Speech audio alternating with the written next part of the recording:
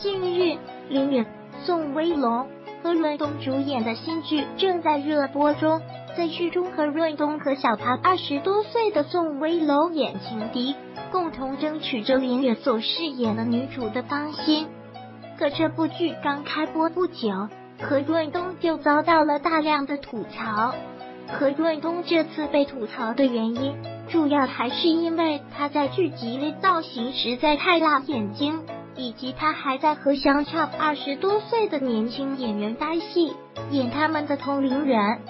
何润东在剧中一出场就穿着黑色镂空网状 T 恤，再加上皮衣外套和紧身裤，一套杀马特造型颇具年代感，再加上稍显浮夸的表演，确实有点让人感觉出戏。不少网友看了几集电视剧后，就已经忍不住开启吐槽模式，不仅对剧集失望。还惊讶于何润东还在演着霸道的油腻大哥。除此之外，更有网友表示，看到何润东险自戳双目，直言何润东演技变差。何润东也不是第一次因为在影视剧中的雷人造型被吐槽了。早年间，何润东在《风云》中一头蓝色爆炸头中二的造型，成了洗剪吹的代表作品。但抛除雷人造型，风云中的何润东也确实是许多人的童年回忆。何润东的油腻标签一直是被网友讨论的最多的，这来源于步入中年后的他一直没放弃演霸道总裁之类的角色。当年他演的《泡沫之夏》里的欧辰，收到的负评就不少。之后何李沁演的《璀璨人生》。与宋茜她的美丽的秘密，更把她推向霸道总裁剧的油腻顶峰。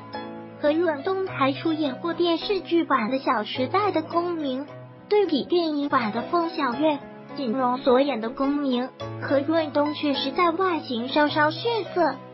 不过，毕竟也在演艺圈打拼了这么多年，何润东还是得到过演技上的认可，特别是当他跳脱出霸道总裁。选择更符合他的年龄段的角色时，比如他演的《三国》里那个勇猛杀敌的吕布，就给许多人留有深刻的印象。还有前几年他与孙俪合作《那年花开月正圆》，他饰演的吴平一角也是圈粉无数。只是在这部剧后，何润东似乎进入了事业瓶颈期，一直难有佳作。而在和女友结婚后，何润东也难逃中年发福的困境。一张出席活动的现场照，让许多人惊讶于他的变化。曾经酷爱健身的他，也有了长胖的迹象，甚至发际线也越来越后移。